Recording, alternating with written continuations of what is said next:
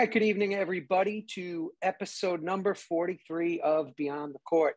Uh, Leo, how are you, my friend? Uh, unfortunately, we know via the great social media, unfortunately, that you have uh, tested positive for COVID. How are you feeling? Thank you, Suds. Great to be here. Uh, thanks for inviting me back. Uh, yeah, you know, uh, first of all, thank you. Thank everybody um, that has called, messaged, you know, my family. Uh, you guys know who you are. I wish I could name every one of you, but thank you guys so much for uh, reaching out and offering all kinds of suggestions and well wishes and prayers. So I love you guys. It, it made me feel really good. Um, I'm. It, it's about day seven, and uh, believe it or not, today is really kind of the first day that I think I've started to just get to feeling better. You know, um, so uh, if you if you you know, if you feel sick, go get tested. That's all I. That's all I can say. Uh, I know some friends that tested negative, so uh, that's awesome. But uh, unfortunately, I tested positive. So uh, yeah, I'm uh, back on the mend, and uh, I'm I'm happy to be here tonight. We got a big show. We got a big guest. Um, a lot of questions. a lot of things out on, like you said, the social media, which is you know how people find out stuff, and people were at the U.S. Open. So yeah, what do you think? Are you, are you ready? yeah, yeah, I'm ready. I mean, you know, I, I, really, you know, thank you to Scotty Mack for being able to, as always, facilitate this back there. But um, you know, it's important. It's definitely a big show. You know, this is important. It it matters to racquetball. Um, you know, hopefully we can all listen. You know, hopefully uh, we'll do less commenting, less. Uh, big show. You know, this is important. You know, let's just try to hear the human side of it. And Leo, I appreciate you taking on this role because we did speak offline, and it is important. I feel that you know you uh, take take the lead on this, you know, and kind of go at it from a you know from a fan's perspective. Uh, obviously, we're all pretty close and personal, and, and maybe we know some more things or less things, but we're here to for Kane to be able to communicate to the fans and to the sport, and, and let him talk about what what's happening, what's gone on, and hopefully you know hopefully everybody hears that and, and come up with with how you feel. And hopefully it's not going to be uh you know it's not always unicorns and rainbows or or ice cream sundaes right? So let's see what it is. Leo it's it's now you're beyond the court. Go ahead buddy. Well before we bring uh, our our guest in tonight um i do want to say just one quick thing that i think even coming off of the us open and uh, my history in the game um, you know, working at a 10 court racquetball club, putting over 200 tournaments, um, uh, you know, from coaching to teaching. I think it's pretty evident that, you know, I, I adore, I love, and I, uh, I, you know, racquetball has done so much for me. So I love the sport. I love everything about it. I love the men. I love the women. I love the juniors. I love the state. Uh, I served the executive vice president of USA Racquetball. So I just want to make that perfectly clear too that, you know, um, and being on this type of a platform, it allows anyone, I, from what I've seen, to come in here and just speak. And sometimes things, like you say, there aren't all the, the best things in the world. So, you know, uh, thank you for inviting me because uh, you're right. We're going to bring in Kane and we're going to hear from him and he can let the fans know. Uh, there's a lot of rumors on the internet. I've got some questions that uh, I'll be asking him. We went through the comments we got on these pages and we looked at these comments and we saw people that were making false rumors. Uh, so hopefully Kane will uh, address those tonight and we can put a lot of stuff to rest. And then hopefully we'll take some more questions tonight in the chat. So uh, without further ado, uh, Scotty Mack, if you've got Kane uh, in the lobby and ready to go, let's let's bring in Kane. Kane, are you there? I'm here. I'm here. Hey, I just love coming, that. Uh, yeah. Thanks hold on, hold on. I want to get. Is it part of the everybody? The there we go. Hey, Kane, thanks for... I, I, didn't get the memo. I have mine. I don't wear a watch at night. You got the wristband on. Little, little love right there. Good enough. Well, hey, uh, Kane, thanks for coming on tonight. Um, I'm just gonna uh, just jump right in uh, to the show. Um, hopefully, we can kind of maybe start with the most recent uh, news that came out of the U.S. Open. There was a there was a lot of people that were not there. There were a lot of people that were watching online or hearing rumors, um, and then there were some people that were there but didn't actually know what happened. Um, mm-hmm. There were some rumors that maybe Sudsy was associated with uh, you forfeiting out of the tournament because of uh, whatever happened in y'all's match. Um, there was all these other rumors floating around also that there were threats made to people there on court side. So, um, do you think that's a fair place for us to start with this right now? Is the most recent reason and everything that transpired at the U.S. Open?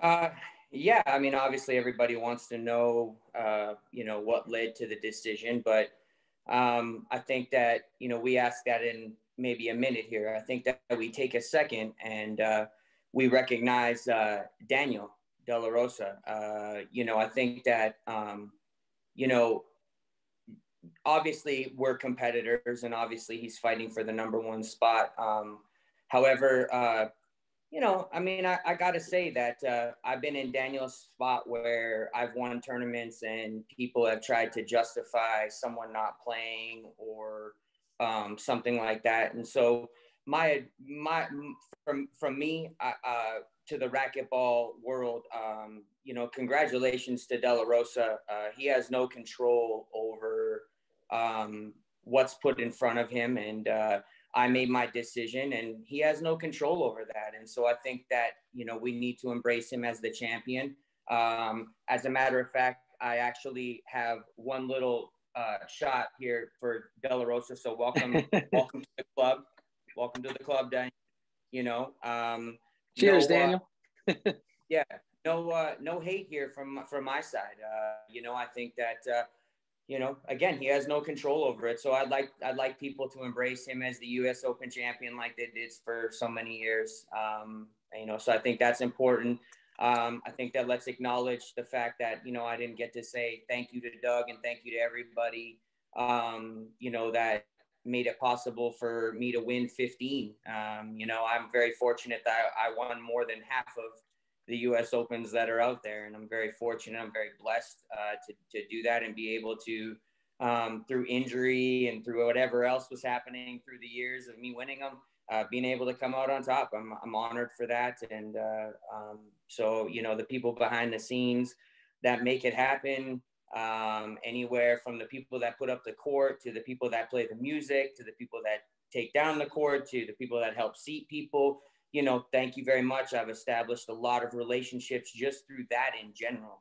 And, uh, you know, for that, I'll ever, you know, I'll forever be grateful. So, uh, you know, I just wanted to take a second to clear the air on that. I'm, I'm proud of Daniel. Um, I, I, uh, I don't hold any grudge or say, you know, oh well, if I was playing, you know, I have my own opinion of it, obviously, and and uh, you know, obviously, I believe that I would have won the tournament, but that's nor here nor there, and uh, we need to embrace the champion, and that's Daniel. That, that's well said. you know, mm-hmm. yeah, well said because you know, uh, the record speaks for itself, and uh, despite all that, um, I mean, the chat's already blowing up. People they they want to know. They want to know what happened. That was big news.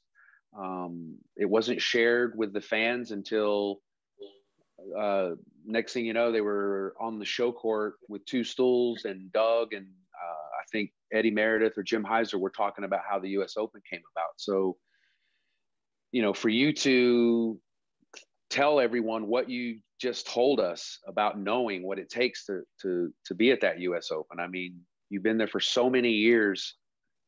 How tough is that? And how tough was the decision? And and you know, what do you want to say about it? Yeah, so uh, you know, I, I you know, I, I heard a lot of different theories as to what happened and and all that. And um, you know, it's it's hard. It's not an easy decision. I, I don't even think I slept all night really. Uh, you know, Suds can attest to this. I was texting him throughout the night and and uh, you know, uh, you know, this was an easy decision. I literally um, I, I, I took everything that I accomplished in my 20 some years and uh, you know, I just I don't know, I just something I don't believe in. I don't I don't believe in how things were handled and and uh, I, I I don't even like the situation really I'm in to be honest with you.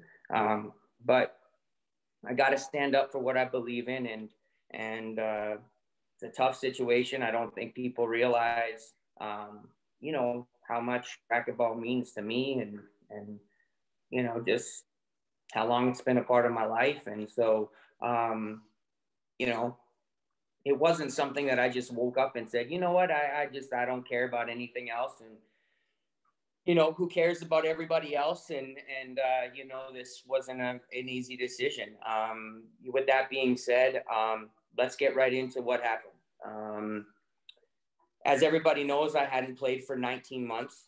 Um, I went to Chicago and only played uh, doubles based on, you know, a couple of reasons. Uh, obviously, one, I haven't played for so long, and I didn't want to just jump in and play nine matches in three days. And and a part of that was my sponsorship deal with ProKennex and not having one. Um, you know, uh, I get to the tournament and uh, not one person actually there was one actually person from the from the IRT that actually walked up to me and he just gave me a little fist and that was it not one other person from the IRT after 19 months of being um, away and still being the number one player not one person walked up to me from the IRT so obviously that's a little discouraging because I, I was excited to get back on the court and uh, really, it didn't really seem like they were really too excited that I was there, unfortunately. So that was a little tough. Um, so I get to the U.S. Open. I get there early. Um, on Tuesday, I'm practicing, and I get approached by uh, one of the presidents, or you know, I'm, I'm, to be honest with you, unfortunately, I don't really know anybody's true position at the IRT. Unfortunately, um, what I assume is one of the presidents, one of the vice presidents, owners and he says to me um, that he has a situation that's come up and he would like my opinion on how to deal with the situation.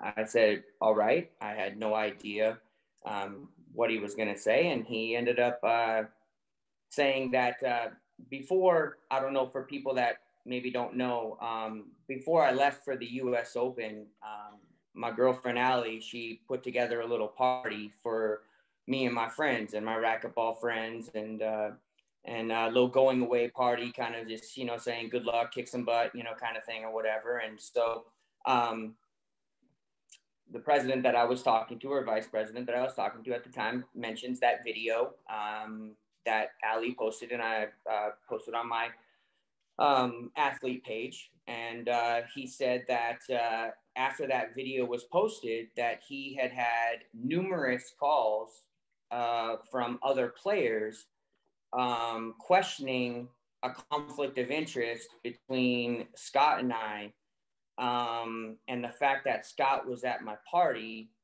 Um, and, uh, you know, obviously I had nothing to do with that personally. That had everything to do with my girlfriend, Allie. She's the one that invited Jody and all the guys I play racquetball with. And, and uh, so I, I asked, I said, well, I still don't understand what, what do you, you know, what, what do you, what are you asking me? And he's like, well, how do you think that I should handle it? And I said, well, you know, in, in obviously a little bit different words, I said, I said, I, I think that you need to call all those guys back and uh, tell them to be a little bit more professional. Um, I don't think you should entertain this conversation. Uh, what I don't understand is that when I was playing all the time on tour, um, and we had a regular, you know, we had regular tournaments and we were at a regular schedule. Um, Scott's been playing racquetball with me for about five or six years, and that's never ever come up, nor has it ever been mentioned. And uh, I find it odd that 19 months later, I come back and I'm at the U.S. Open, and literally 24 hours after I'm there, I get approached by this conversation and this I get with this conversation. And so um, I basically told him that I would call those players back and tell them to grow up and be professional. And I said, to be honest with you, I wouldn't even entertain it. And if it's that big of a deal, I would say that um, just remove Scott, have someone else ref me. And uh, that was uh, that was you know kind of the the gist of the conversation. That was that was about it. Was that in person or via text? That was in person. In person.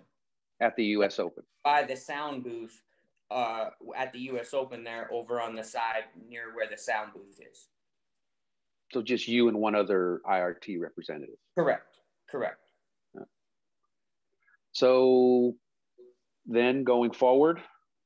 So I I pretty much you know I thought it was I thought it was kind of that was it right and so um now again right like I want to make it clear that this specific situation isn't the be all end all of why this ended up coming to fruition of happening. I mean, there's other things that we'll probably get into and talk to talk about here that you know lead to this. But so um, I go.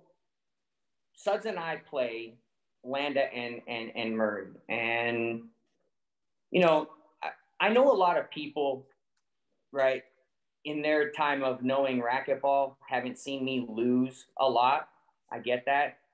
Um, but I'm a pretty gracious loser. I don't, I'm okay with losing. I mean, I, I, I am. And uh, anybody that's been around the sport long enough, I mean, knows that. And so, um, but there was something about that match that I just was weird to me. And, you know, I, even during the match, I had mentioned to, mentioned to Suds a couple of times. I was like, something just doesn't feel right. I'm like, something feels weird, and so, you know, again, I've been part of tens of thousands of matches. Okay, and I don't ever remember a match where I really walked off the court thinking to myself, this is weird. Like it just has a weird feeling. It has a weird vibe. It has a weird feeling.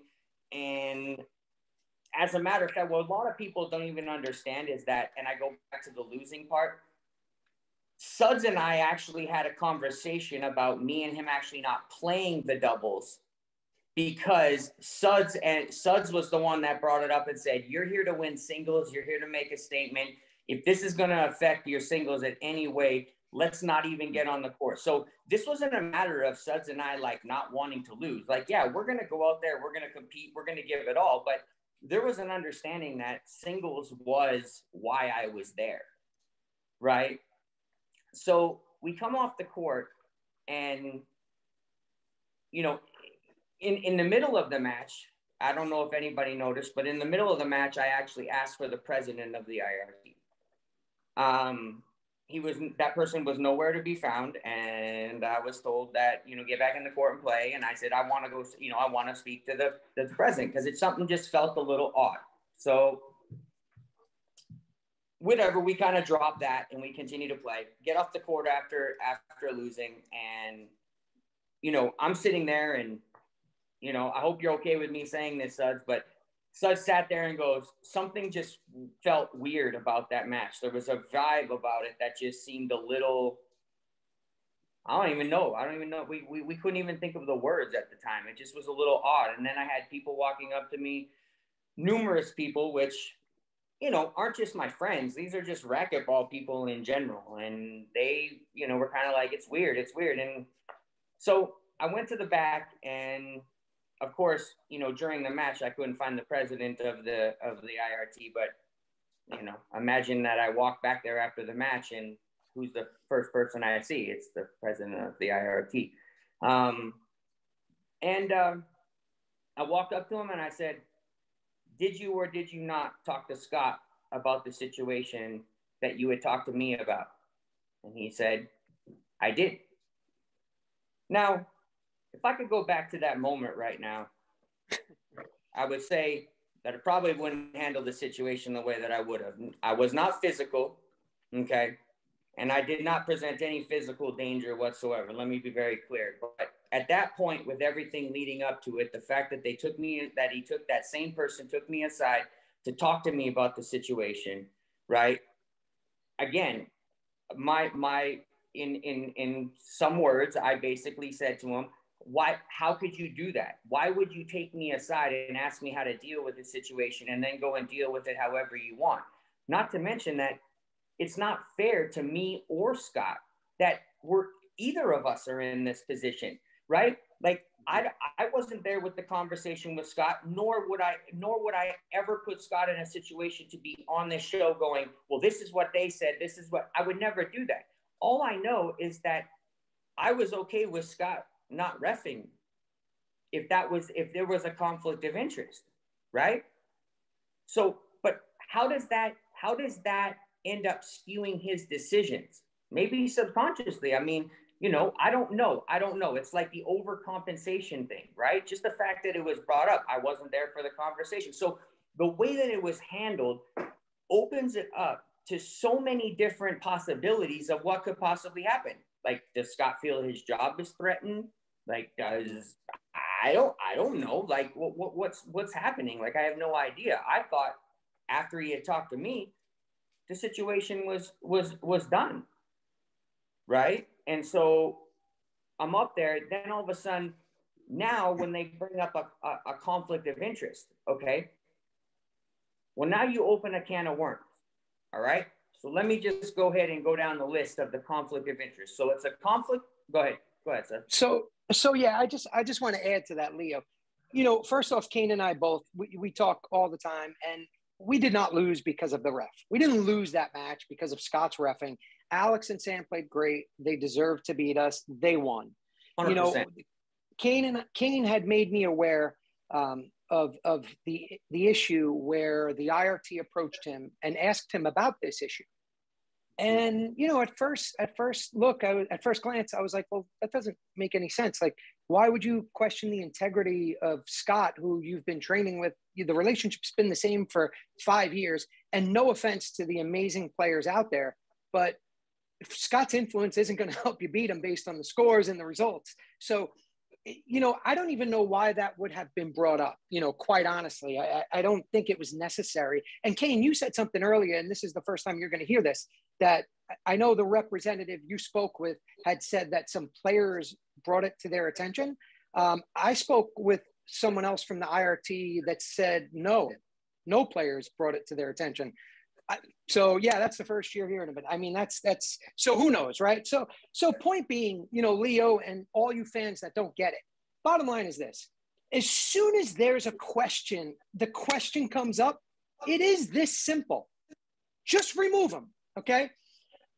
I said this. I said when I coached my son in baseball, competitive baseball for many years, you know, it wasn't really fair to him because I would overcompensate and be hardest on him to make sure that Mr. Vasquez or Mr. Waselenchuk can't say, oh, well, Sudsy, you're just showing favoritism. And I'm not saying Scott did that, and neither is Kane. Kane, correct? We're not saying he did that. No, but not saying. But if but Kane's thought process on the whole thing at the time was was kind of like that's weird, you know, like there was just maybe some questionable calls, maybe not, maybe Scott did a perfect job, maybe he didn't, whatever.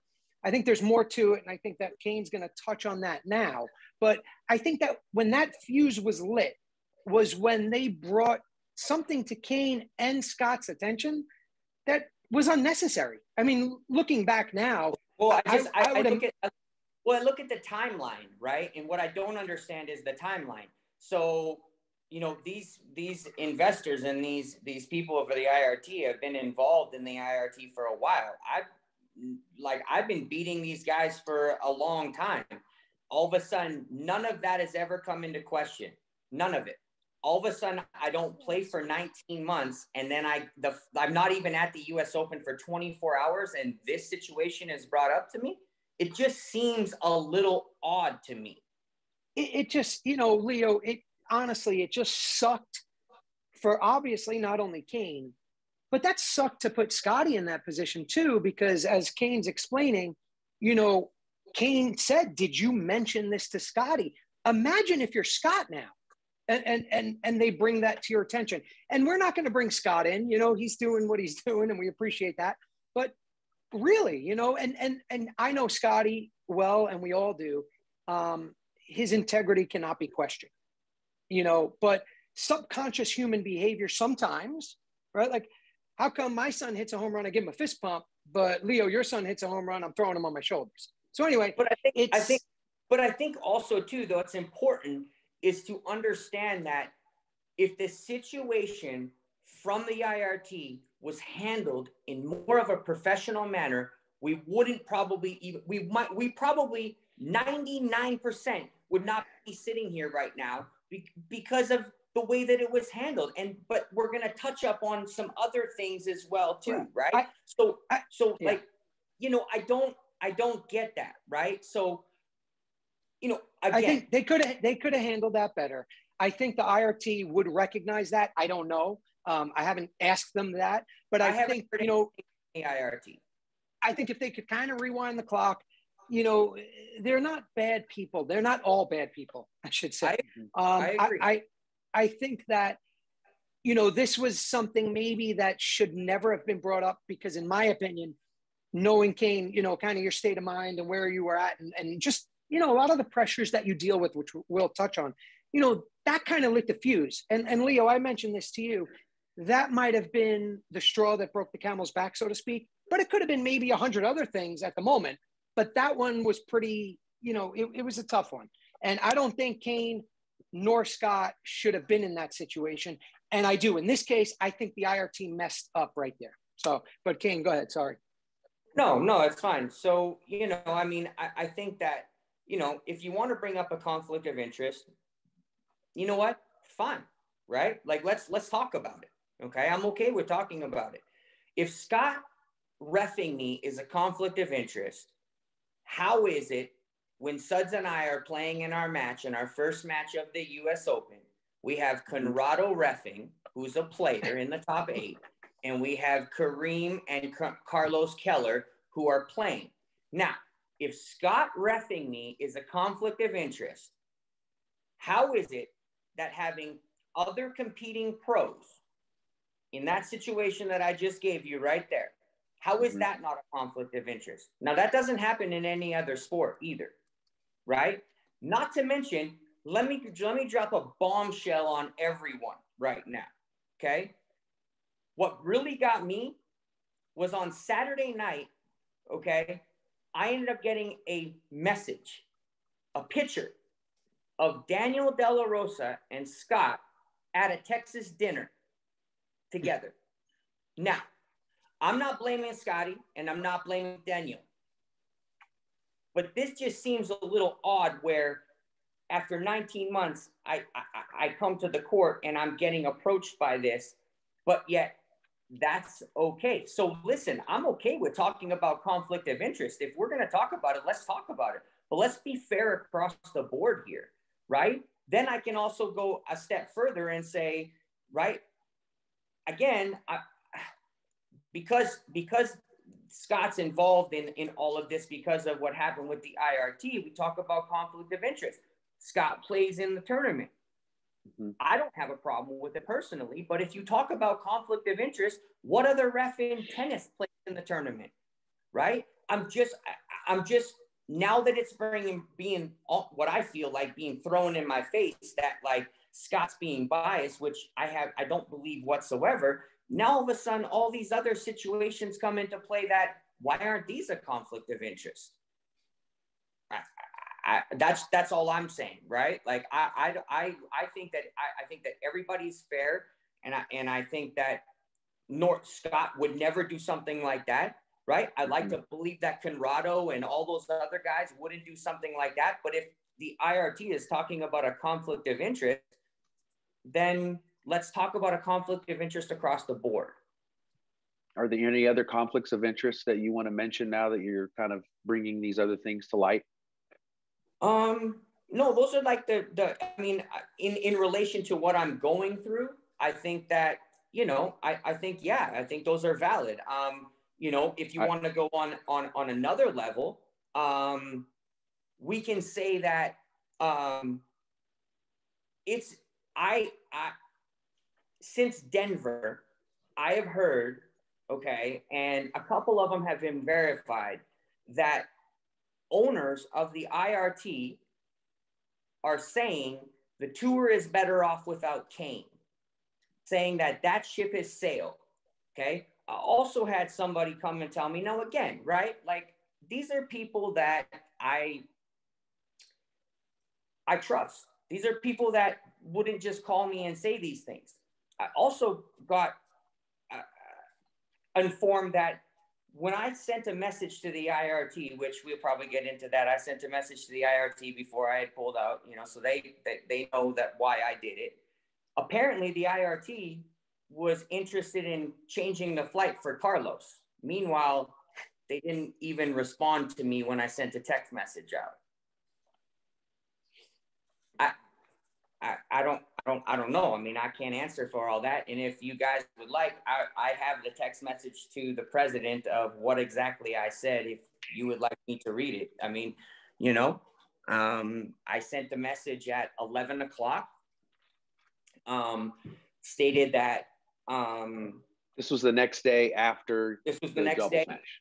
Correct. For, before your uh, semifinals singles. Correct. At 11 o'clock. At 11 o'clock, I sent one of the presidents in the morning. I sent him a message saying, I don't basically, I don't know, I don't know if I'm going to play today. I don't appreciate the position that I've been stuck in, that Scott's been stuck in. You know, basically, if you go back and you look in the last 19 months, you go look on social media, you would never be able to tell that I was the number one player in the world, nor I even played on the IRT, yet I'm the number one player in the world. You know, I said, you know, you guys act like I don't even exist, right? I'm hearing grumblings from Denver and Chicago. Uh, I, I heard from a sponsor, and no, it's not Keith who helps me out. There's another sponsor who heard it right from one of the owner's lips that the IRT is better without Kane. That's a fact. That's the fact, right?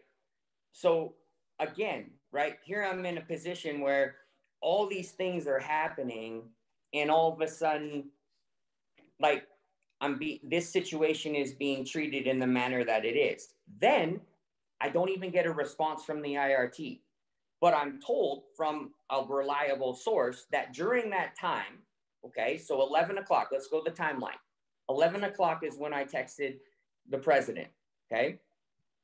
Listed my reasons why. I got no response. At 1:38, I responded because no one had responded to me at that point. No one had said anything to me at that point. 20 minutes before I was supposed to play, my match was scheduled for two o'clock. I texted him and I said, Thank you, because now I know I'm making the right decision. The fact that you didn't respond to me lets me know that I made the right decision. Okay. So in that time of 11 o'clock to 140, I was told that the IRT was back behind the curtain trying to find a way to pay for Carlos Keller's change of flight. So, who changed Carlos Keller's flight? Someone did. Can someone can someone pull up? Can can someone verify or not verify that the IRT did that? Because that is also a conflict of interest. You don't reach out to your number one player in the world, yet you're yet there's conversation about changing my competitor's flight so that he can be there because he had his flight scheduled for 6 a.m. I was told. I don't know. Did you guys hear anything like that? I, I, I do not know. The only the, the only thing that I heard was that they were on Southwest, and that's when Southwest canceled like a thousand flights. So I have no idea. I didn't. I mean, when yeah, when you when you told me that, and I know the source that it came from, obviously it's you know legit. I mean, you know, I mean, I think that you know now all of a sudden mm-hmm. you think of the situations that are happening, and you think about you know go on any listen you can go on Facebook and you can go on Instagram, you can go on any social media. You would never know that I was the number one player in the world. Why, why is that? What, what I don't understand. And honestly, how about the owner or whoever one of the owners? How about you get on here right now and why don't you explain how you can say that the most decorated racquetball player, the tour is better off without me? I mean, think about that for a second. Like, let's just really, for all you racquetball lovers, whether or not you love me or whether you hate me, no matter what, no matter what, think about what that statement means. That would be like tennis coming out right now going, hey, forget about Federer because we got Djokovic. But yet, racquetball doesn't even have a Djokovic yet. Let's not forget, I wasn't struggling through the draw. Okay. I was feeling good, better than I felt in a long time. So, you know, again, right? Like here's a situation in our sport where this sure feels like more of like a personal agenda as opposed to, you know, what's best for the sport, right? Because let's be honest, none of us on here right now can sit and say any sport is better without one of the greatest players. Like you think the NFL is is the NFL is getting ready to push Brady out of out of the out of the league. You think you think that you know Sidney Crosby in hockey. You think they're like, yeah, you know, the league is better without Sidney Crosby. Yeah, the, you know, the, like, like again, I don't I don't understand that mentality. Like, yeah, Roger Federer is better outside of tennis. Like, yeah, he that ship is sailed. You know, like what, I don't understand that mentality. How are we supposed to grow as a as a community? Like, all I ever wanted to do, all I ever my job is very simple. My job is to win. That's my job. Whether you, you know, yeah, I gotta shake hands and I gotta do my stuff and whatever, but my job, my job is to win. And here I sit being the most decorated racquetball player ever. And look at the position I'm in. If that doesn't scare racquetball people, man, I don't know, man. Anything, listen, you you can you can have your personal opinion about me. You can not like me. That's that's fine. Like it's okay with me. Right. But when you don't like me and you're making decisions based on you just not liking me in general, personally, that's just not cool. And that's not about building the sport. You know, like whatever I've done to any of those people, listen, man, I'm sorry. I like to think that I went about my career and I went and I put my head down and I kicked ass. And, you know, I did it for my family. I did it for the real friends and true friends that I have, right? I did it for the historians, like the people like Sudsy and Cliff and Marty and all those people that work so hard, you know, to, to put racquetball on the map. I wanted to continue that. And here I sit, feel truly like I'm being punished for being too successful and winning. I've won so much now that people go, or the people that matter or want to make a decision go, you know what? No one's really close to beating Kane. So let's put him in certain situations where all of a sudden now he has, like, look at this situation I'm in right now, you know? And I have to stand up for what I believe in. And I believe that, like, listen, this is not fair. This is, and it's not just about me. I, you know, yes, you know, I'm the one going through this, right? And I have the most to mm-hmm. gain and I have the most to lose. But let's not be mistaken here. Okay. You take me out of the you take me out of the conversation and I'm gone from racquetball. Let's make make no mistake about this. Short term, everybody makes a bunch of money. I get it, right? De La Rosa now, right? Wins the US Open, doubles and singles, makes himself a good whatever, 6,600, 7,000, right? You know, everybody starts making a little bit more money. The problem is that gets old pretty quick. And then guess what happens? Then you're going to win for two or three years, and then you're going to go. Then you're going to build some clout, and you're going to go to a company just like I did, and they're going to go, well, you know, racquetball's not really, you know, racquetball's not really where it used to be. Like we can't really give you this money. We can't really do this. Like this isn't just about me. If they're if they like in, I don't know what the motive is right? I have an idea based on these things that I'm hearing and these things that are happening to me. And I'm thinking to myself, if they're going to do this to me, what's going to stop them from doing it to a guy like De La Rosa who has one world title? I have 14 world titles and 15 US Open titles. What's to stop these people if they have a they have their own personal agenda, right? Because again, once upon a time, I didn't say anything in my career. Okay. I put my head down, I played, and that was it. But then there came a point where I became an owner of the IRT and I had much more at stake. And so I started voicing my opinion. When the IRT was sold, I voiced my opinion more and more and more about how I felt the players should be treated, how everything. And that's where really, in my opinion, where it all went south for me. Because I, I, I didn't I didn't, I wasn't vocal throughout my career. You guys both know that. You guys have been around long enough that I wasn't really vocal until the last five, seven years of, of my career right now. And that's because I, I took a lot of, I took a lot of pressure on myself because of what I was accomplishing that I needed mm-hmm. to stand up. I needed to stand up. I needed to voice, not just for me. Like, for instance, who can come on this show right now and tell me that I don't deserve anything extra from anyone else? No one's even close to what I've accomplished. Why don't why why is it so hard for me to for, for me to say that I deserve more than anybody else? I've done I've done I've done tenfold what anyone else has done in the sport. Why don't I deserve it? Like I don't. Un- that's the part I don't understand. Like I'm selfish for saying that. Yet here I am fighting for me, but I'm also fighting for these other guys too, right? You think that I'm going to go away and the, and and what I've accomplished, and you think racquetball is going to get better? No, everybody short term is going to make a bu- make a little bit more money because I'm gone. So people in the quarters make the semis, people in the semis make the. Fun. You're going to make a little bit of money, but guess what? Three, four years after that, you're going to sit there and you're going to be in the same position, going, "Hey, why isn't this changing?" And guess what? You're going to be in the same position that I am right now. So that's kind of what I'm fighting for as well, too. Kane, Kane, let me let me let me ask you. Um, you know, I'm sorry, Leo. Go ahead. Go ahead.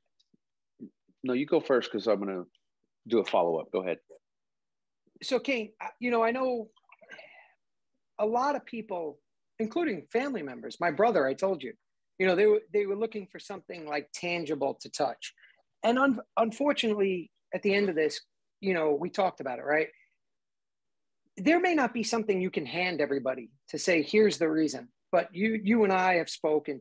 You've spoken with some of your, you know, closest friends and allies about you know years and years of, of, of disagreements or, or, or you know tough tough decisions that maybe you liked or didn't like and you know and in fairness nobody not one person on the internet uh, maybe a couple people in the sport and the history of the sport can understand what you've had to deal with you know what you go through on a daily level and and that's okay you know and i say this to anybody commenting and i can't really see the comments because of the situation how we see this um, but you know, it's you have no idea. You know, there's a lot of people out there that this wasn't an easy, an easy decision for Kane. Um, I, I, was with him, you know, that morning. My wife was with him. Veronica said she told Kane, please go play. You know, she wanted Kane to play. But at the end of the day, she understood, you know, because she was able to talk to him in a different light and, and see where his his head was at. And this isn't like one thing happening. This isn't drama. This isn't a soap opera. You know these are real feelings. Like there's a human side to this. And and whether whether or not you know it whether you want to believe it or not no kane's not soft. He'll be the first guy to stand there and fight for you if he believes that he should fight for you. Trust me i can give you specific examples. So can many of our friends and peers. But kane you know i think it's important that you discuss some specifics as far as you know what you feel it does when when you know for a fact that irt owners um, and, again, they're not all bad. We're talking maybe one or two ones that maybe just don't like you, and that's okay. You don't have to like anyway. You know, it's all right. Like who you want, but you know, have said pretty specific, damaging things about you to others, and sometimes they don't even realize you know who they might be saying it to or who hears. But talk about how that you know you've talked about it, how it could affect you, how it could affect others, and and you know how it feels, man. Well, I mean, obviously, it's a it's a horrible feeling. I mean, I think that any of those people that were that talk bad about me, if you could get if I could get 30 minutes with you, you know, sitting at a table, I think that you would change your mind. I mean, I'm a simple man, I really am, and uh, you know, all I ever wanted it it in racquetball, I just I felt like if I won, everything else would fall in place. You know, like I really did. My job honestly, my job was one thing to kick ass. And honestly, I can show you all my contracts, and that's what I was paid to do. I was paid to kick ass. And guess what? I was the best one to do it. I was the best person to do it. And, you know, I never thought that I'd be sitting here 20 years later feeling like I'm being punished for being too good.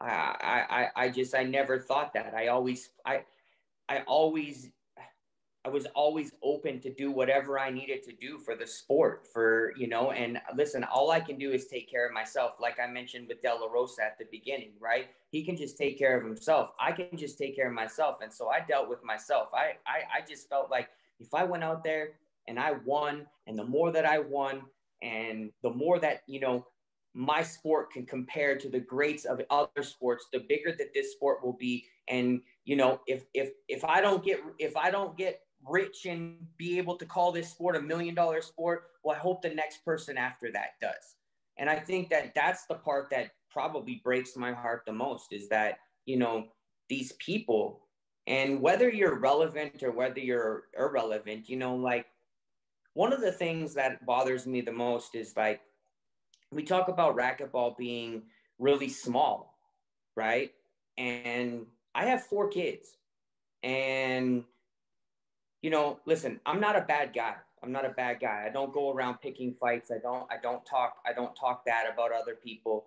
And because racquetball is so small, it makes me very, very upset that my daughters can go onto the internet and try to follow me and try to and try to and try to support me through racquetball and they have to go and look at stuff that just isn't true about their father you know? I'm going and picking fights. I'm i'm i'm i'm i'm, I'm you know i'm i'm a liar. I'm this i'm that. Like are you willing to share that that episode that happened Ken? because there's a lot of rumors uh, going around that you threatened somebody at the us open. Can you can you squash yeah. that and let us know yeah. what happened? So on Keep Racquetball Great, there was a post about my sponsorship. I went on there and I posted, and I want to make it very clear. Everything that I'm saying here right now and everything that I'm say from here on out is 100% the truth. Okay. I, I, I, I, I, I'm not that person. I have character. I'm, I'm not lying about what I'm saying. And I went out on Keep Racquetball Great and I tried to set the record straight about what was happening with my sponsorship. Um, and there was a guy, okay, from ProKennex, uh, his name's Rod, okay, that went on there and basically said, don't believe everything you read. And so I responded back on Facebook and I said to him, Are you calling me a liar? Well, he deleted the comment, right? That was it, nothing further, whatever. I play my first match. I see this Rod guy, which I, who I've known through ProKennex for years and years and years. He's been loyal to ProKennex. Rob Blanton is sitting next to him. I walk up to I walk up to Rod, who put the post up. I said to Rod, I said, "Hey, remember when you called me a liar on Facebook?"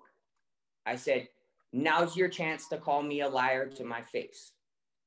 And he said, "I'm sorry." He goes, I should have never put that out there. I was way out of line. I apologize. If you notice, I deleted it after, and I'm really sorry. And I said to him, I said, I respect that. And I said to him, I want you to know that no matter what my situation or what Mike Martinez and Pro ProKennex is saying about me through this whole situation, okay, I want you to know that I respect you, okay, as a person and as a friend, someone that I've got to know through ProKennex. And I get that this is a difficult situation, but I don't want that to affect our friendship. And I don't want that to affect any interaction between us. He said, No, no, man, it's all good. Thank you. I appreciate it. I shook hands with him. I walked away. Okay. That was the situation. And the other situation that I heard was that I got that same person kicked out of the seats. That's not true. Those were not my seats.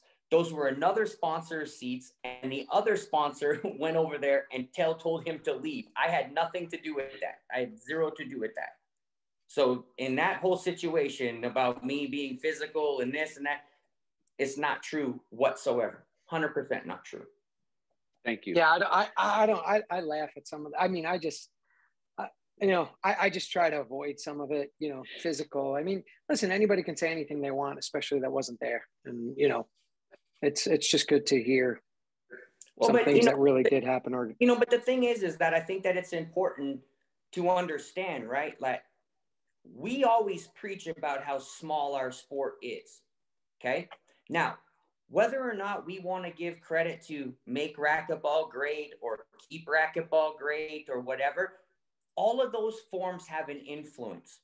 It doesn't matter right? It doesn't mm-hmm. matter. They do our sport you know, if someone puts a comment about Tom Brady, that's one comment within, or even a hundred within 10 million. But when you have a hundred comments in, you know, about something like that or a post like that, that's that misleading, that affects our sport much more than football and all that. So that's a problem, right? That's a problem that, you know, which again, right?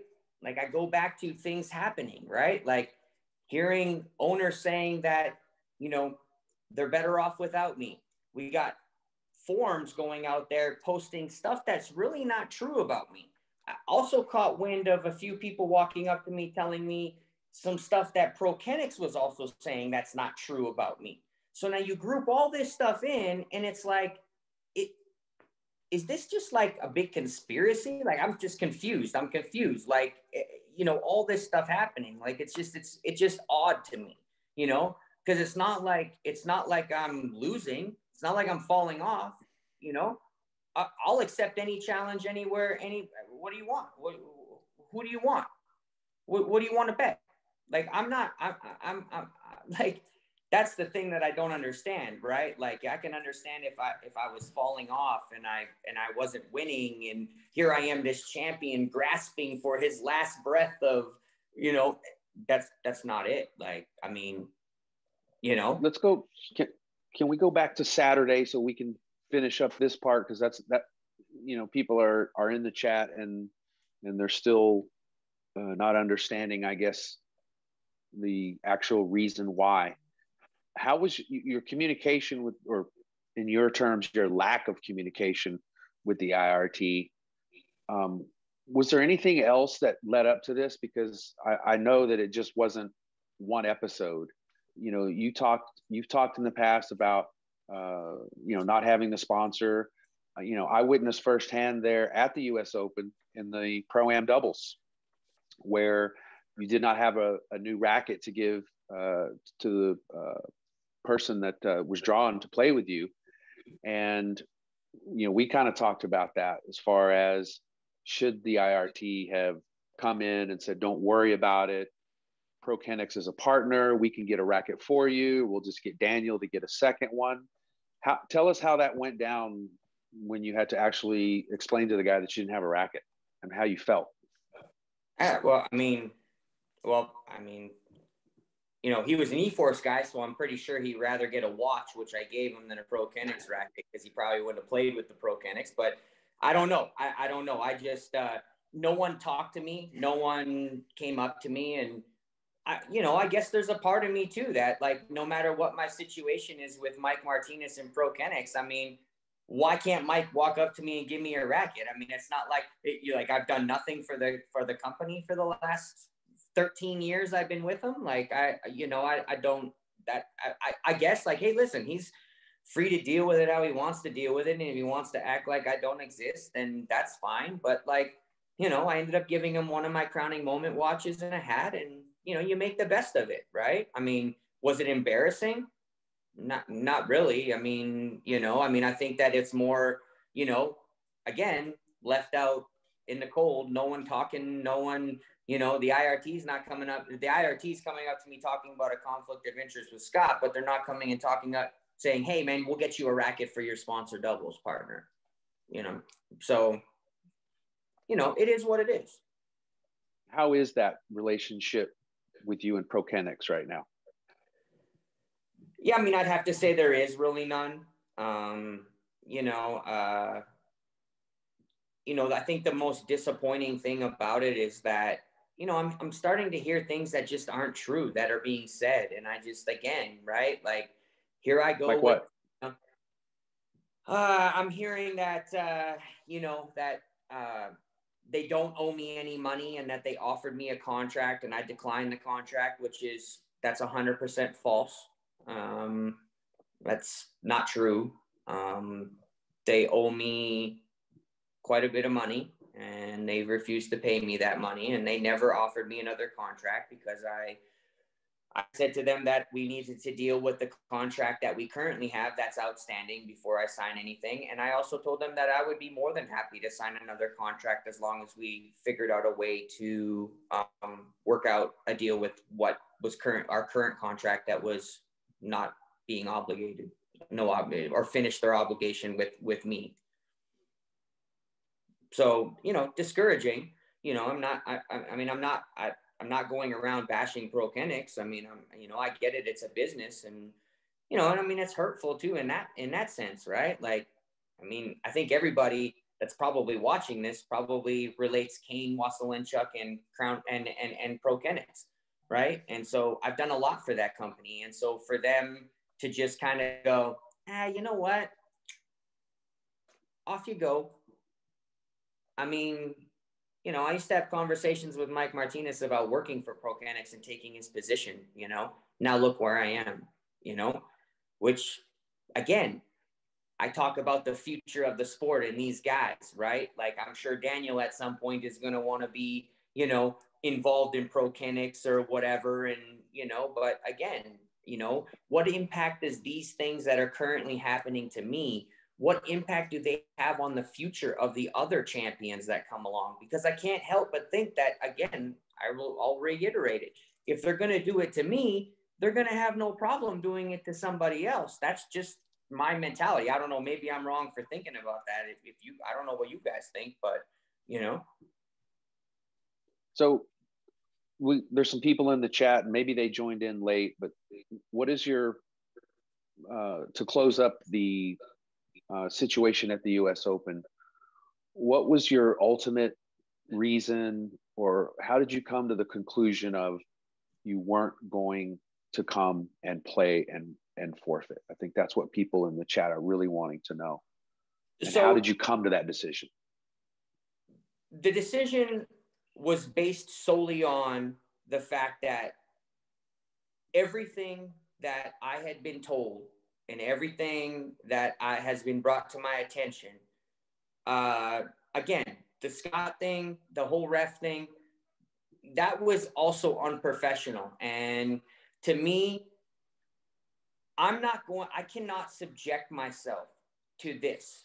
Like I can't, I can't, I can't do it. I, I want to be a part of an entity that wants to be a part with me and wants to be promoting me and wants to, and wants the the vision and has the vision that I have, not push me out. And to me, there is every sign of them pushing me out. There is no sign of them keeping me. Once again, right? De La Rosa became the number one player after the U.S. Open.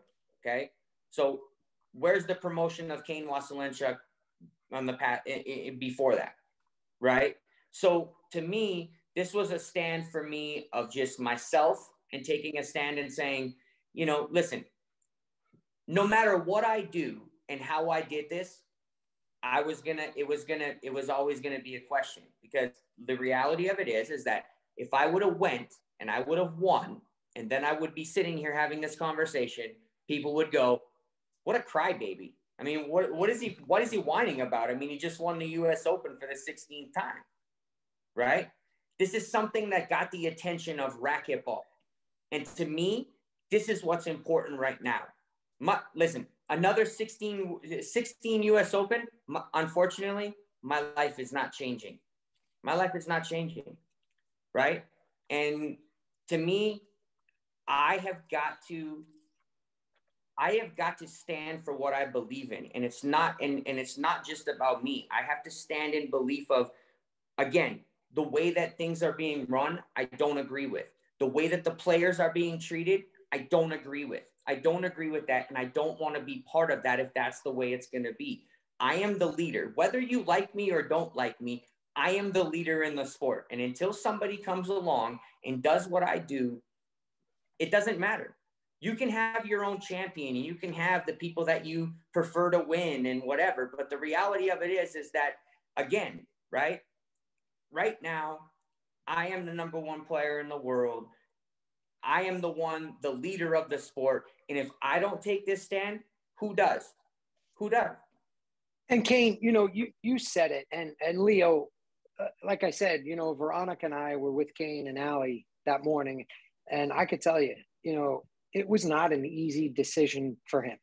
You know, it wasn't something that he was excited about. And, you know, nobody can really understand all, all that there is. There is a lot of pressure, you know, that, that comes with being in his position.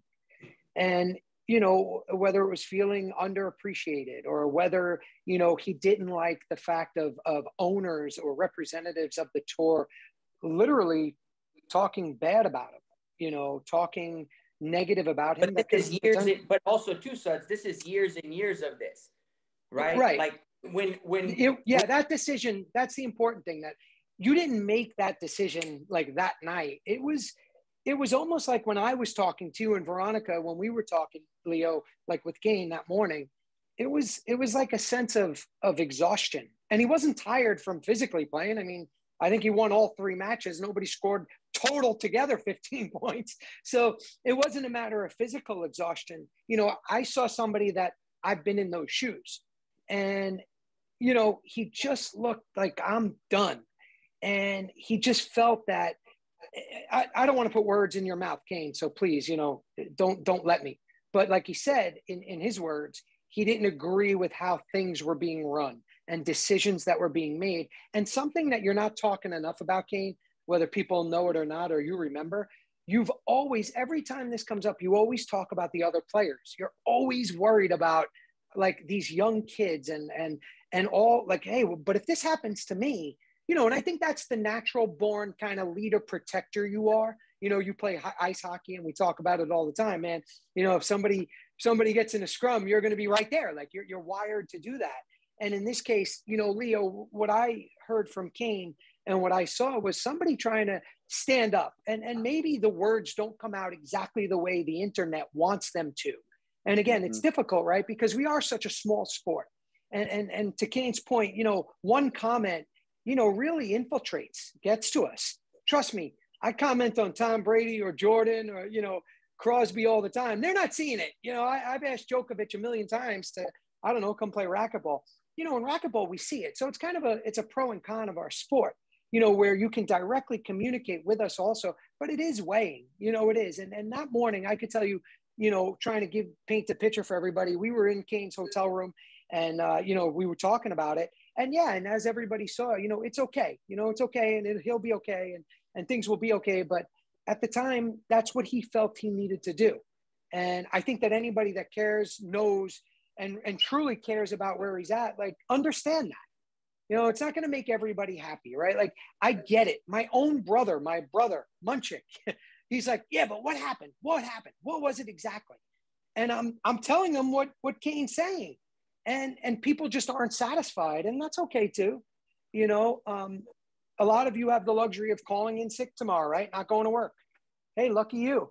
You know, maybe, maybe that was Kane's day of saying, I just can't handle this right now. You know, I don't, I, or he could handle it, but that was his position. But and I think also too, I think also too, what a lot of people don't understand is that I played a lot of tournaments injured, a lot of tournaments, and whether I won or not was is irrelevant. I put my body on the line a lot of times based on sponsors, on the position and what I knew, you know, what I meant to the tournament. Um, you know, remember, you know, seven years ago, or maybe not even, maybe I don't know. Whenever we sold the IRT, I used to be a part part owner of the IRT.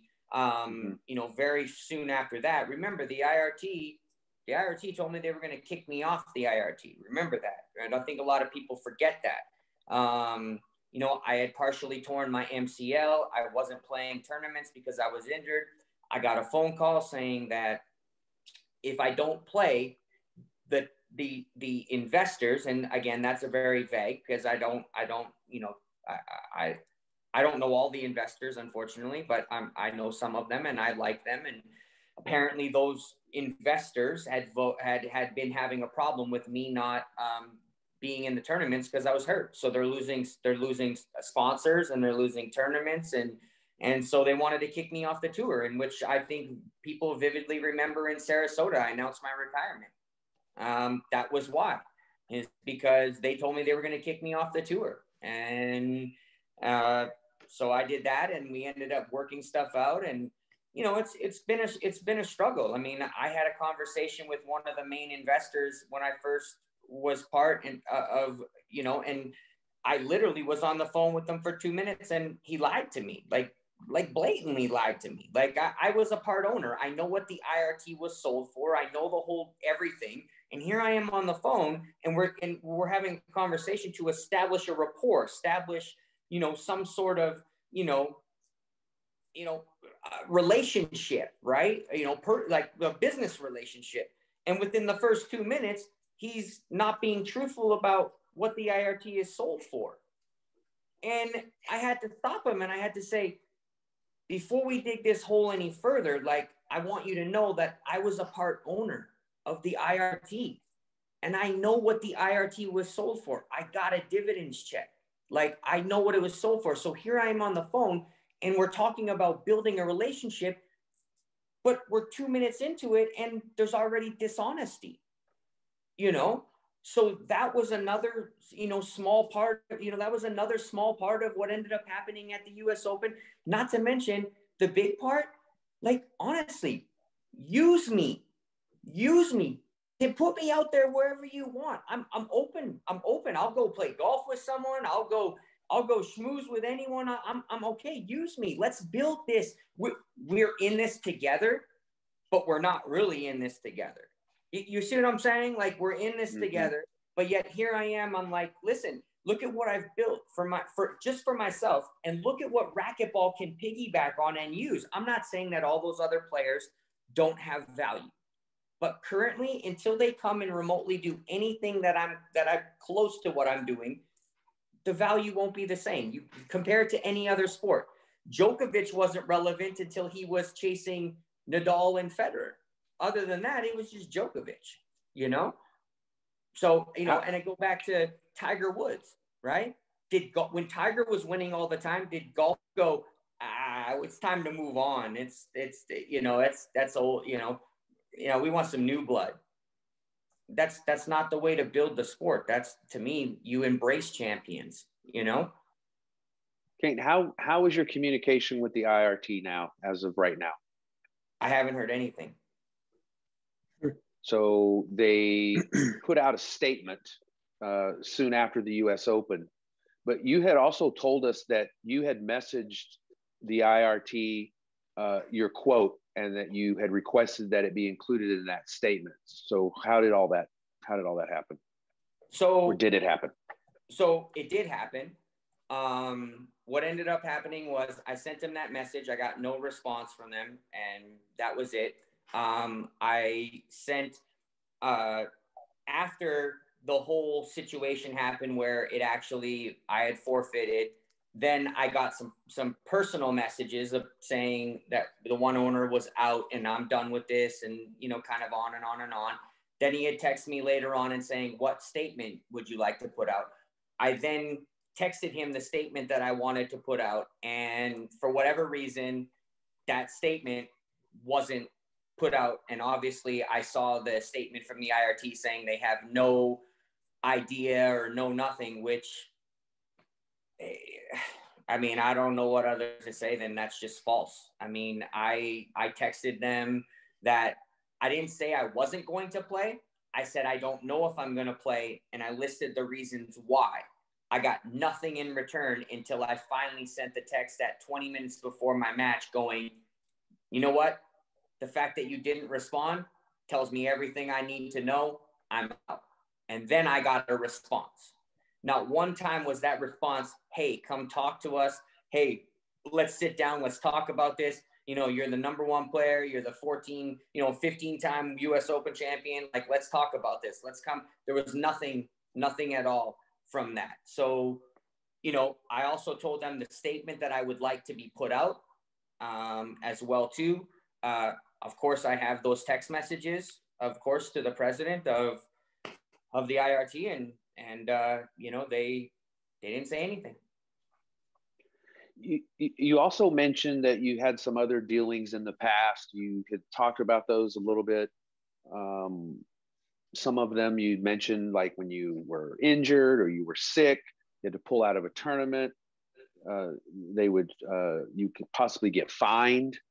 Um, I want to ask you about that, and then also there were some rumors that you had said that since you didn't have a sponsor, uh, you that the IRT was not looking at that in your best interest, and you felt like, you know, were they not helping you get sponsors, or were they?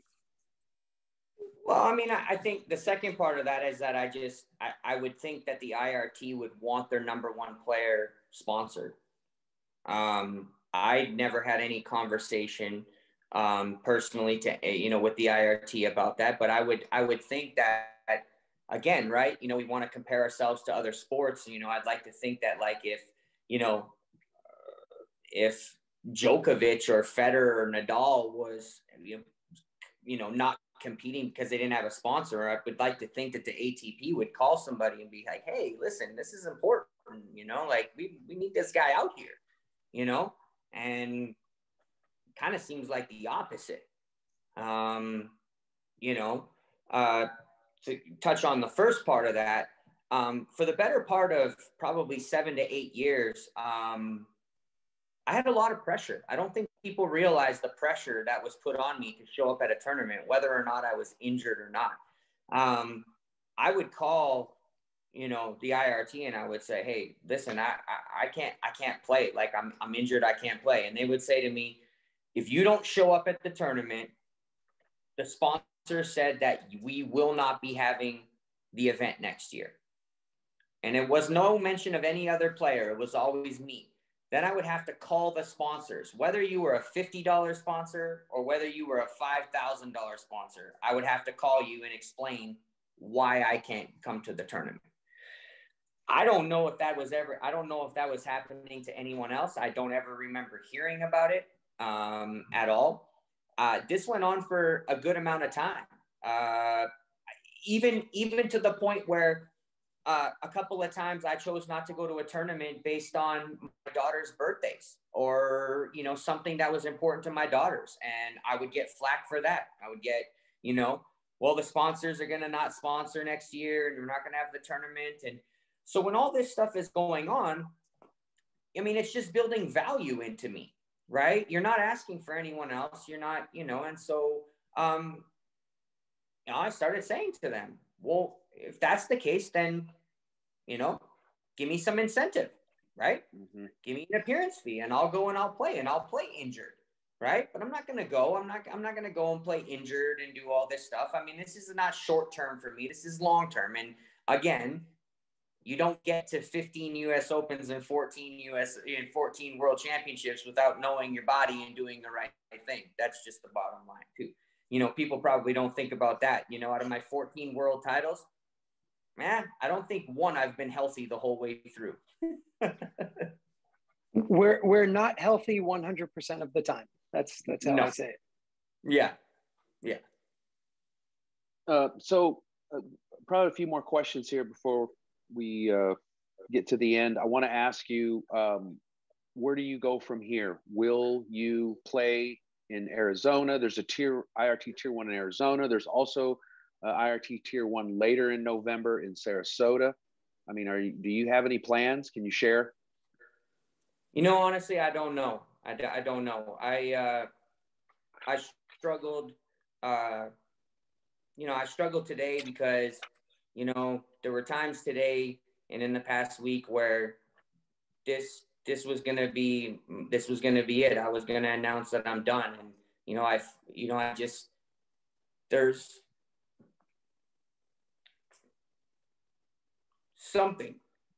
I, you know, I don't like what's being done to me. I don't like what's being done to our sport.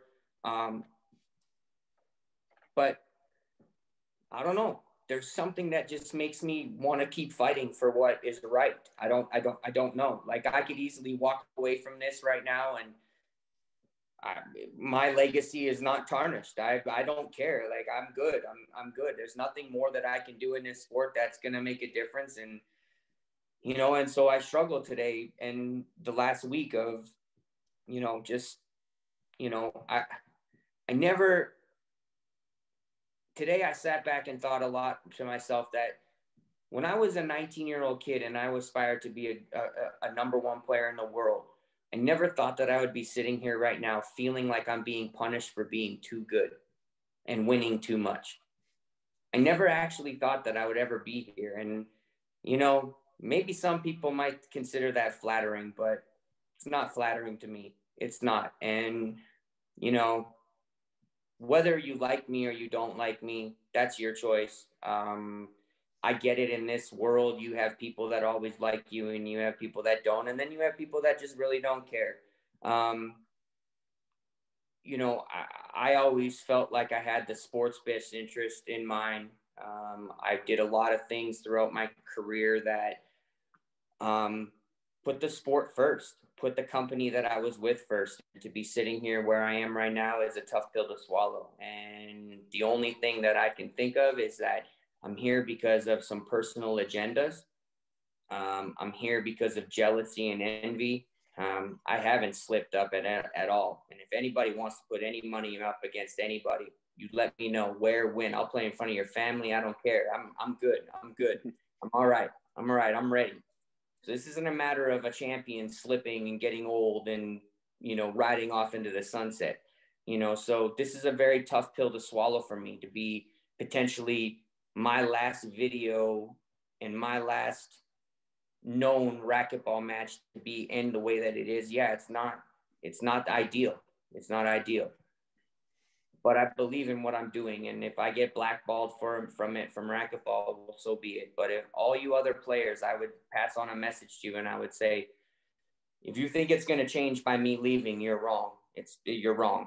You're wrong. It's not going to change. And, you know, history has proven, uh, I got two words for the racquetball world, Paola Longoria. And, and the reason I say that is this Paola, I'm very proud of her. She's done a lot for herself in, in, in, in what she's done in Mexico, and Mexico has supported her. But I think that we also have to look at the fact of how has that affected the women's tour. And I think that that's something that's a very difficult situation because I think that it's great that Paola has done what she's done for herself. I, I think it's amazing and she deserves it. She's a great champion, the greatest women's player ever to play. But her success has had no correlation to the success in the United States or North America in racquetball, right? So there have been times where I have even thought to myself, maybe it would be better for racquetball that Conrrado be the, the best player in the world, right? But then again, right, these are other countries that support their athletes, right? Like we can go, we can have a whole nother conversation about this stuff and how Mexico supports their athletes and Bolivia. Could you imagine if Carlos Keller won the US Open this year? He would have been treated like a king when he went back home. De La Rosa wins, and guess what? It's just a different person winning. That's not what what's different about it right now. We have a new champion after 15 years. We have a new champion. What exactly has changed for De La Rosa? That's the stuff that I'm fighting for that I don't believe that is right. Like these things need to change. These players need to be, you know, whether I'm here and I deserve it right now or whether I'm gone, those people, these there is going to be another champion. And if and if and if the and, and if I'm going to be treated the way that I'm being treated, I'm sorry, but you have to assume, and maybe I'm wrong, and I hope that I'm wrong, but may, you have to assume that the next champion is going to be treated similar. I just, I, I, I can't, you know, again, look at how many great athletes we've had in our sport, right? Say what you want about Marty. Great athlete, great guy, right? Guess what? Gone, right? You hardly hear of him. Suds, you were gone too for a certain amount of time. Cliff, gone. Now here I am. I'm in the same position we don't embrace our champions. We embrace our champions years after they're gone. We don't embrace the champions while they're here now. And that needs to be embraced, which is why I brought up De La Rosa winning the US Open. We need to embrace that, not belittle it, not not add asterisks to it, not do this, not do that. That's not fair, right? So this there's again a trend, right? There's a trend now. There's a trend that now all of a sudden because I did what I did, there's an asterisk in Delaware. No, no, no respect him as a champion, right? Don't belittle him, you know? Well, is there any final message that you would like to obviously share with your fans and all the people that are out there? I mean, will we hear from you again? When will we see you again? Or, you know, what do you want to leave us with? I think that my time right now is it's time for me to step away for a little bit. Um, unfortunately. Uh, you know, it's not it's not something that I want. You know, racquetball racquetball has been my life for as long as I know. And I don't want it to be the end, but unfortunately, I don't feel like I'm the one that's in control of that anymore. And that's a tough pill to swallow. Um, I think that I need to go away for a little while. Um, I think that, uh, you know, I've, uh, make no mistake about it, I've met some unreal people, unreal. And, you know, if if this is the end of it, let me tell you something. This kid from a town of I don't know, 1500, you know, just wanted to go hit the ball, you know, have some fun. Uh, I did pretty damn good for myself, you know, and, uh,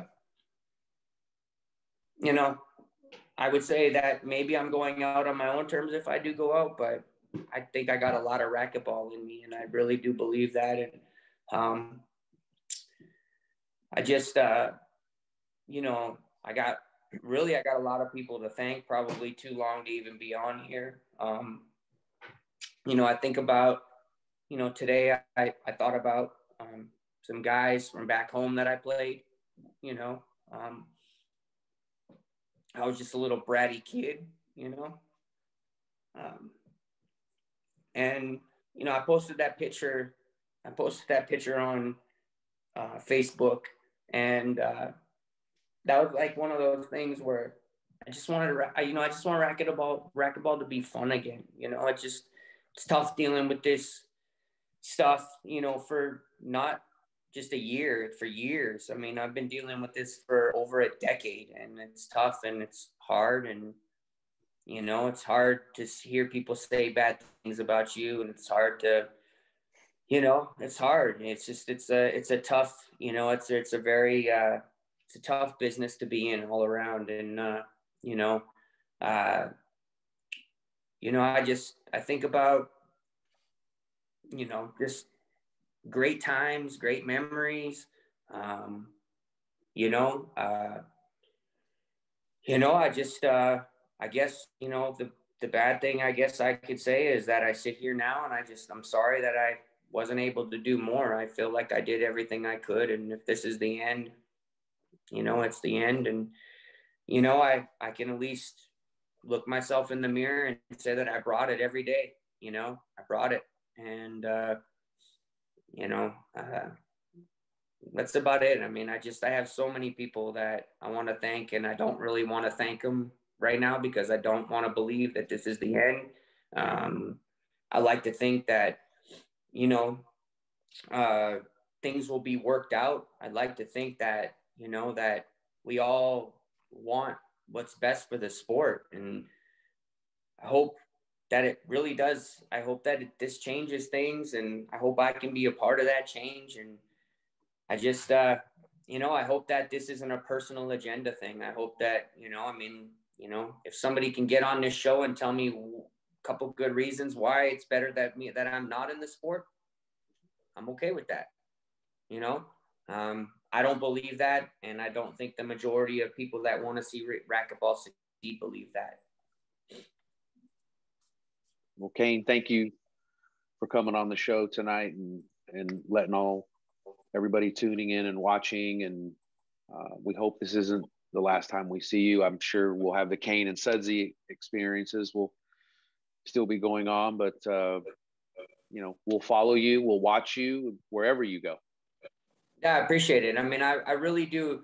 You know, I really enjoy the stuff that Suds and I are doing. Um, it brings me great joy to see smiles on people's faces and you know people get to know me in a different light as opposed to the Kane the the you know competitor uh, I, I really enjoy doing that stuff I, don't get me wrong I want to be on tour and I want to be playing and you know I, I, I wish things were different and I hope things that can can be different and uh, you know I just want the change for everybody I think that uh, it's just a, it's a tough time right now unfortunately you know and hopefully we can we can all get through it and maybe maybe sooner, but it won't be a while. It'll be, you know, it'll be at least at least six months. You know, I wouldn't be surprised if the IRT suspended me for a little while as well too. That wouldn't shock me either.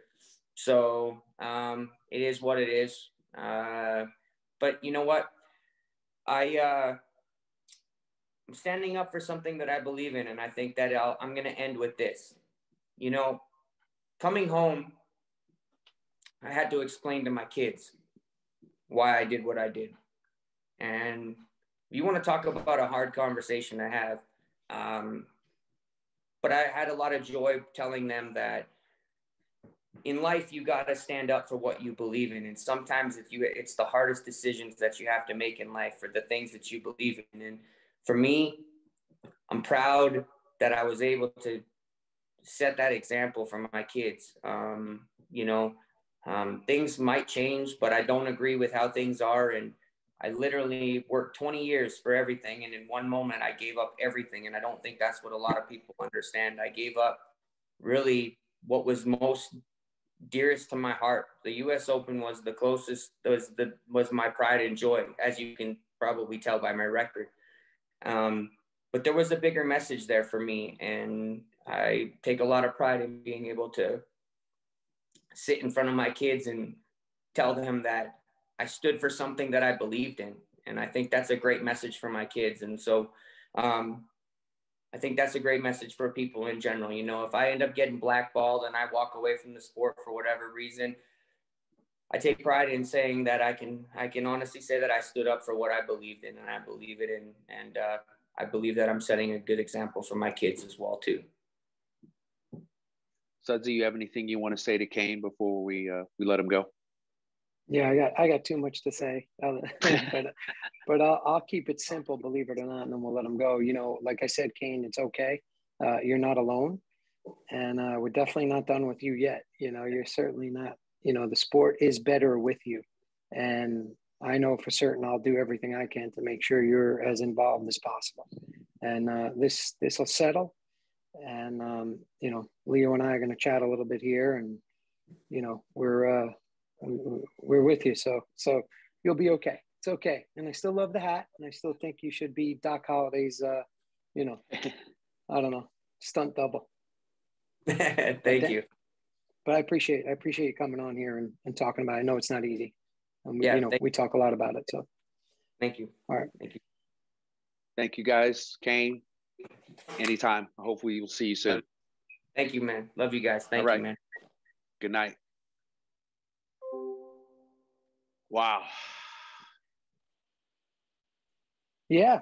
Yeah. I, I, I was trying to keep up with the chat. Um, I, I didn't see anything. I'm I'm glad I don't I don't want to see that. You know, I hope if nothing else, Leo, though, people were able, you know, to see the human side there in the end. Um, there's a human side to it, and too many times, too often, everybody just chats and yells and screams or types or texts, right? And we don't listen. And, you know, my support and my love for Kane and, and what he's going through is I've been there. I've personally been in, in a dark, you know, place with our sport.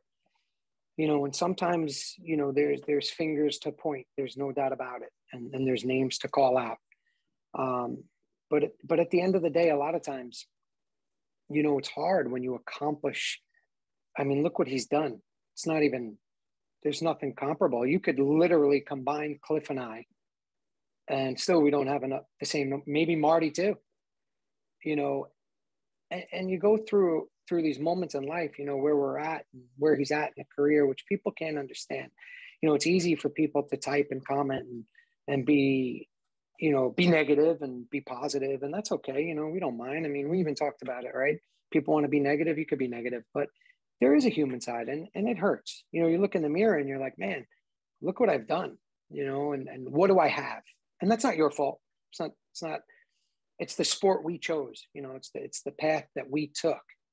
Um, you know, some others have have seen it early and maybe went and chose a different path, and that's great and good for them, and hopefully it's successful. But you know, Kane loves the sport.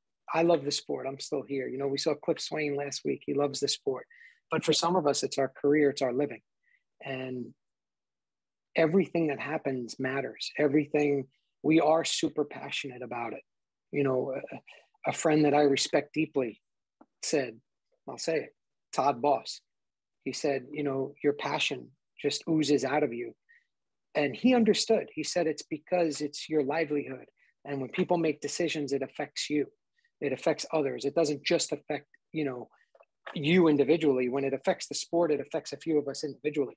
And uh, you know, we appreciate that because a lot of people don't see that. And, and today with social media, there's just so much wrong, so much not true. But you know, everybody that goes on social media, thank you. You know, really, we we love it. We love to be able to interact with you. But that doesn't mean sometimes it doesn't suck. you know, like this situation. Mm-hmm. This situation sucks. Sucks for the sport. It sucks for the fans. Uh, it sucks for the players. It sucks for the IRT. It sucks for USA Racquetball, LPRT. It's just a, it's a sucky thing, you know, and and it's unfortunate. But hopefully we learn from it. You know, we all could learn from it. Uh, hopefully it could it could be prevented somehow in the future. Um, you know, it sucks. I've gotten to know Kane here so well over the past year, and he's he's really a good person. You know, he's one of the most loyal people I know. And I could tell you that decision for him was not easy. And it's hard to articulate exactly why. You know, a lot of people want to know why, why, why, why. And at the end of the day, is it going to be good enough?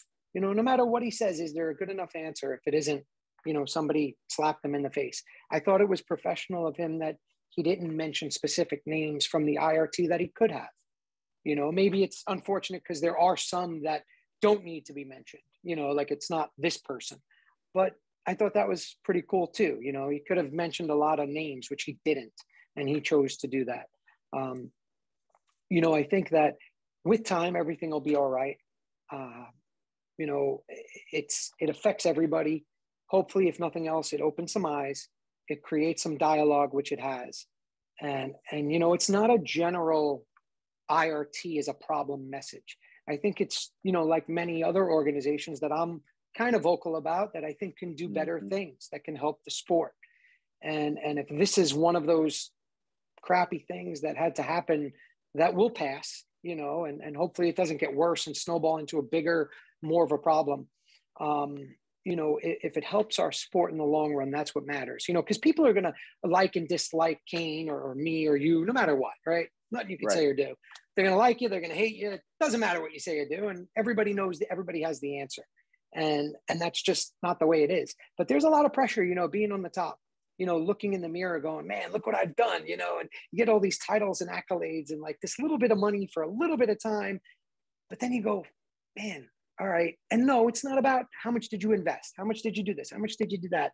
It's not comparable you know? It's it's it's totally different. And don't try to compare sorry because you just don't know you just don't and you know we can't explain every single detail from start to finish. Um, this isn't about bashing the IRT or, or the owners. You know, I think Kane, Kane personally is dealing with a lot of crappy stuff, um, just like I have had to, like Cliff has had to, like many great champions and great players have had to, and many future will. You know, but we got to continue to strive to do the best we can. Uh, I don't think it's going to be the last we see of Kane. Definitely not. If I have any say of that, you know, the sport's better with him. We'll do that.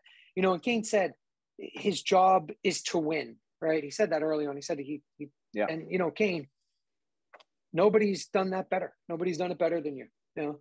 So uh, you definitely did your job and uh, we'll continue to do the best we can to promote the sport, energize it, love it, keep it growing, keep people interested. And we definitely need you to be part of that. I love the message. I love everything. Um, I just want to say before we go, uh, in summary, that I get it uh, how people like to get on the internet and say certain things. So after seeing Kane tonight, just remember he's human. Um, he said it. He's got four kids. He's no different than you or I or anyone else out there. So just keep that in mind. You know, he is a human being. He is one of us. You know, if you love racquetball as much as you say you love it, you eat, you sleep, you breathe it, just like all of us do. Just like we all just got back. Either if you went to the U.S. Open or you watched it all week, you're one of us and you're supposed to be like family. And i know family argues from time to time but you know um, in the end it should be all about love. We all need to love each other like brothers and sisters. And um, just think about that sometimes when you're out there thinking about spreading a negative message or making up a false uh, rumor or a lie. So, you know, it was very humanizing for me tonight and very touching. Um,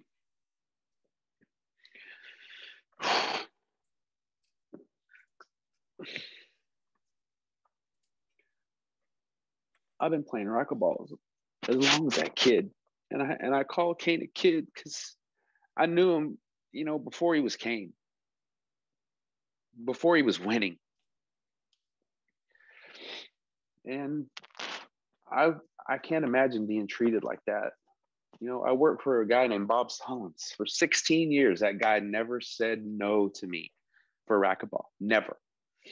You know, and I can't imagine Bob treating me the way that someone may have treated Kane. And so for that, I'm sorry that, you know, somebody had to go through that. But, you know, I can't imagine walking away from the sport and I would never let anybody push me away from racquetball ever. So thank you for letting me be on the show tonight. Uh, it's very emotional, as you can tell, for all of us. And uh, I hope that's not the last that we see from Kane. Yeah, it won't be. You know, he'll we have experiences going on. Obviously, we're you know we're doing another one in January, which is pretty awesome, and uh, he he loves it. You know, he, he finds a lot of love in that. You know, and it's yeah, it's tough, Leo. I mean, that emotion that you're putting out is probably a little bit of knowing also, you know, the accomplishments or or or where our sport is at. You know, we're in a we're in a really important stage. You know, what happened with COVID was really, some will say a death blow but I think there's some people out there doing the best um, the best we can to to continue it, to keep it going, keep it going strong. You know, unfortunately, take some money sometimes, uh, but we definitely don't. You know, we don't want to lose the greatest player of all time for for some differences. You know, and hopefully the IRT, I'm sure they'll respond, and and they should. Um, whether they like what they saw or didn't like what they saw, at least they saw it. You know, and at least you know they can discuss it, and maybe they can look in the mirror and go, yeah, we can do things better because nobody's doing anything perfect. You know, Kane knows he's not doing it perfect. We're not doing it perfect. Um, but yeah, the, the sport needs all the help we can get. And um, it's important. You know, we need we need the fans. Uh, it's it's not always perfect. we know that. It's okay to be against. But like, you know, the, the, the big message is, you know, let's let's figure it out. Not forget that we all are racquetball not to be cliche, but we are racquetball, and uh, that's what that's what we're trying to do. So, Leo, I just want to say, you know, thank you to you. Um, you know, it's it wasn't an easy easy show to take on. You know, I called you and said, hey, would you do this? Because I certainly didn't want to be the person doing the interview. Uh, I felt it needed to come from elsewhere because of my, you know, close knowledge. Um, and that's it. You know, I, I got to thank Scotty Mack, man. Thanks to you, you know, in the background doing this as always, and for the crappy position that you were put into. Uh, you shouldn't have to be put into that position either. And and no, it's it's not personal. You know, IRT, it's not it's not personal. You know, um, hopefully we just can all move on and get better from this. Um, to the fans, the sport, love you all. Without you, we're meaningless. You don't care. You can't talk good or bad about us. You know, for some of us, it's our livelihood, and and just tell us what more can we do, and and I'm all for it. You know, keep keep going at it. Of course, you know, to the person for me that keeps me going, Leo, without Veronica's love and support, uh, and her constant, you know, passion for the sport to continue to play and now want to compete again, uh, I'm probably not even here. You know, I'm building my resume and finding a job and I'd be like, love your racquetball. You know, you've taken so much from me, racquetball, but you've certainly given me the greatest things in my life. And for that, I thank you. And uh, we'll see you soon. All right. Have a great night, everybody. everyone.